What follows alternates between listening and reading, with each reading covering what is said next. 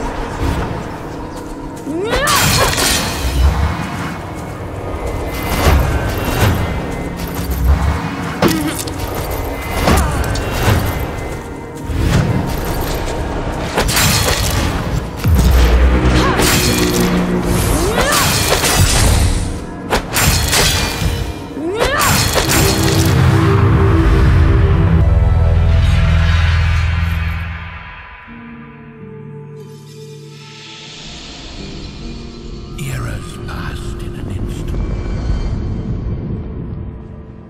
Stone, iron, and flesh corroded by time.